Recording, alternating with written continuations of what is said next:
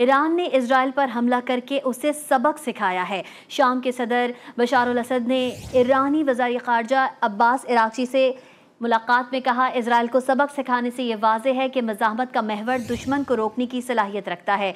ईरानी वजी खारजा अब्बास इराकची के साथ मुलाकात में अलसद ने शाम और ईरान के दरमियान स्ट्रेटजिक ताल्लुक और इलाकाई चैलेंजेस से निमटने की अहमियत पर ज़ोर दिया। लबनान के खिलाफ जारी इसराइली जाहरीत को रोकने और सेहोनी फौज के हमलों से बड़े पैमाने पर नकल मकानी करने वाले लबनानी अवाम को इमदाद फराहम करने पर तबादला ख्याल भी किया गया। ईरान ने इसराइल पर हमला करके उसे सबक सिखाया है। शाम के सदर बशार असद ने ईरानी वजारी खारजा अब्बास इराकची से मुलाकात में कहा इसराइल को सबक सिखाने से ये वाजे है कि मजामत का महवर दुश्मन को रोकने की सलाहियत रखता है।